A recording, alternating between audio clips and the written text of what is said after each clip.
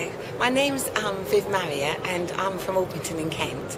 And I've come today because I saw the exhibition being put up some, some weeks ago and could just look round the edge and thought I've got to see this, I've got to, it's something that I really want to see.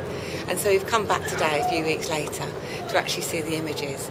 And I must say to say thank you for Tom for putting this up and for doing what he does because he shows exactly what the world is like. And so often in the West we just see um, uh, what, the, what the media wants us to see.